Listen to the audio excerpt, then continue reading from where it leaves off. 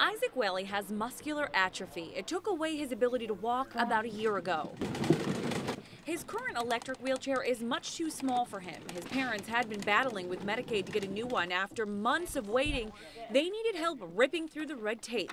Less than a day after their story aired back in July, Medicaid finally approved the chair. Last few months have been like waiting for Christmas. Isaac's been asking us when he's getting the wheelchair. Christmas morning finally came. Isaac's chair was delivered to the excited teen and his equally excited family. What happens if you press these buttons? Don't press those buttons. It took a little getting used to. Ready? I don't want it. Ah! But after some adjustments, Isaac was riding in style. Well, it means the world to all of us, I guess you could say.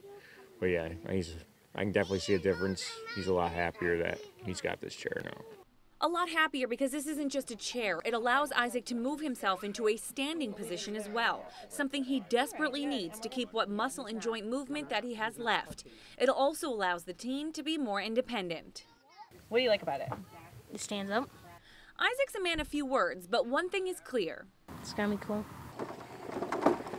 When you think about all you had to go through to get this chair for him, what goes through your mind? So worth it. Very worth it to see him be able to stand again with his peers. He's gonna just be able to do so much more on his own. It's all been a long time coming, but in the end, taking those scissors to the red tape was just what this family needed. You are your kid's voice. Don't stop. Don't ever, ever stop. Keep going. Don't let them tell you no. In Saratoga County, Jennifer Lukey, CBS 6 News.